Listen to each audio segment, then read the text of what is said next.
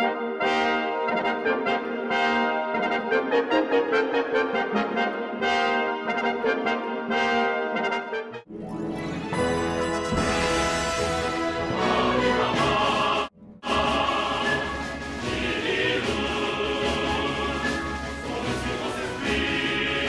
thought it was really good, and it's definitely worth seeing. I thought it was really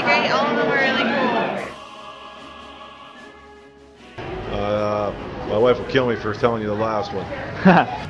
Um, high on Golgotha because everybody knows about the crucifixion and it's from the point of view of the townspeople. Uh, the first one, because it was a lot of singing. Um, well, I thought the first one, the musical, was really funny, but I liked the last one a lot because our roommate was in it.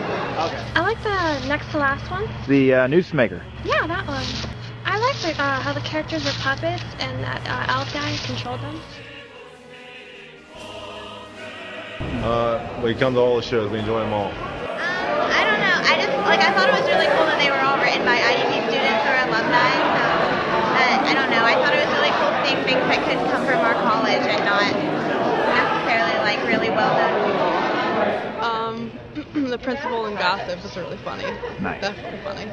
And the last actor, um, the crazy one in the last film was really good. Uh, they used the Super Smash Brothers music from the fight scene. That was awesome.